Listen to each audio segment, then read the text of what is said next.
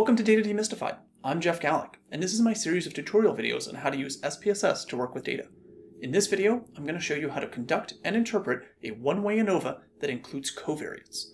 As always, we'll be using the YouTube viewing habit survey that I created, and you can find both a link to the data file and a video tutorial of the data below. I've already largely covered how to conduct an ANOVA, which is an analysis of variance, in a separate video that I'll link to below, and I strongly encourage you to watch that previous video before watching this one if you're not already familiar with how to do an ANOVA.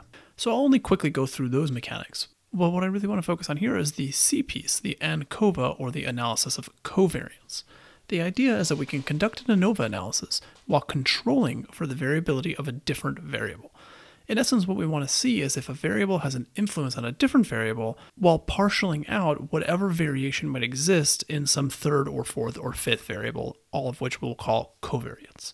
Just like when I showed you the ANOVA tool in the other video, I'm going to use the general linear model here because it allows me for a much more robust interpretation and analysis of what I'm trying to do. So first, let's recreate that analysis from the first video, and then we'll add a covariate to see what happens. So under Analyze, General Linear Model, Univariate, we're going to predict the average opinion. So this is the average opinion that people hold of YouTube. And we're going to use minute watched, which is a categorical variable of how many minutes people watch YouTube on any given day as our fixed factor. I'm going to select some of my other options that I always pick. So for instance, under post hoc, I'm going to ask for the Bonferroni corrected comparisons. Under EM means, I'm going to move everything over and display the means for everything, and this will be actually really useful in our covariate analysis because these means will then be estimated at the mean level of the covariate. And for now, that's actually all I'm going to include. So I'm going to click OK, and if you watch the previous video, you'll see that, in fact, this looks exactly the same. We have a significant result. There's a difference in the average opinion as a function of minute watched. That's all categorized down here in our Bonferroni corrected comparisons. And importantly, here are our means.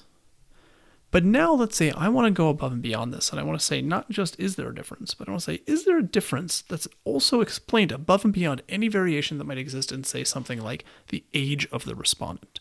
In other words, I might have some hypothesis that says age is really what's driving all of these differences.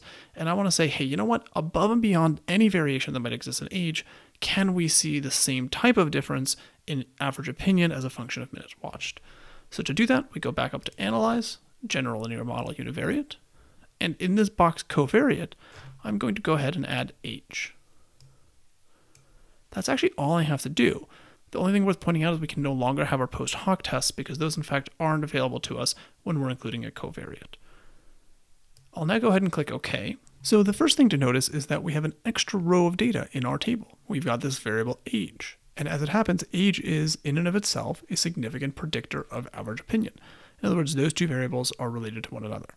But what's worth pointing out is even when I include this covariate, even when I include age in our model, minute watch is still a significant predictor of average opinion. In other words, those means that we saw before, they're different even above and beyond any variation that exists in age in our dataset.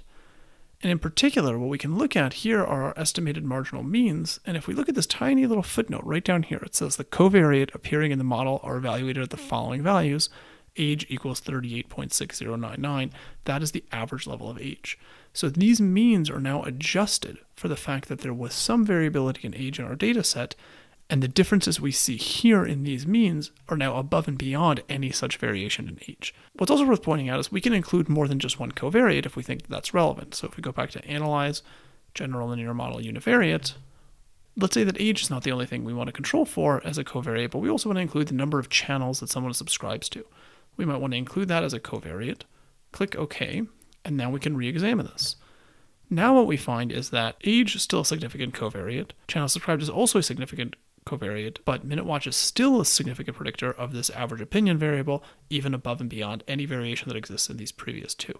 And we can further scroll down to our estimated marginal means, and now you'll see that it's controlling for the average value of both of these variables in predicting what these means are. So this is the moment in the video where I ask you to pause and try this yourself. And in particular, what I'd like you to do is see if this variable importance creator actually is also predicted by minutes watched. And if we include the covariate what the video is about, do we still see a significant result? So I'm going to go ahead and let you pause the video and give it a try, and I'll do it when you return. Hopefully you've gone ahead and done that. So I'm going to go ahead and go up to Analyze, General Linear Model Univariate. I'll reset this just so we're starting from scratch. And as I said, we're going to stick with this question of minute watch as our fix factor. We're going to see if we can predict importance creator, meaning how important the creator is. Is that different as a function of how much people watch YouTube? And if we include the covariate, what this video is about, does that still show us an effect or not? So I'm going to include covariate under EM means. I'm going to move these over so we see our estimated marginal means. And that's about all I want for the moment. So if we run this, we find that minute watch is a significant predictor of how important it is who the creator is.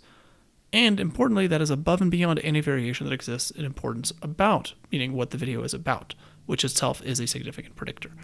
We see that our means are down here, and again, those means are adjusted for any variation that might exist in importance about.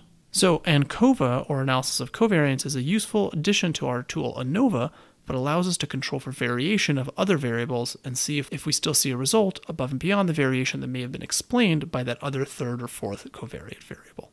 That's it for this video. I hope you found this useful, and if you have any questions, please comment below, and I'll be sure to reply as quickly as I can. Aside from these tutorials, I'm on a mission to equip everyone with the information they need to thrive in our data-rich world. If you'd like to learn not just the mechanics of analysis, which these video tutorials focus on, but also learn the intuition behind the analysis you're performing, I strongly suggest you check out the other intuition-focused videos on this channel where I take the jargon out of statistics and data science and help you build a deep, intuitive understanding behind all the analysis that you're performing. I'll put a link below to a playlist of the videos that focus on just this.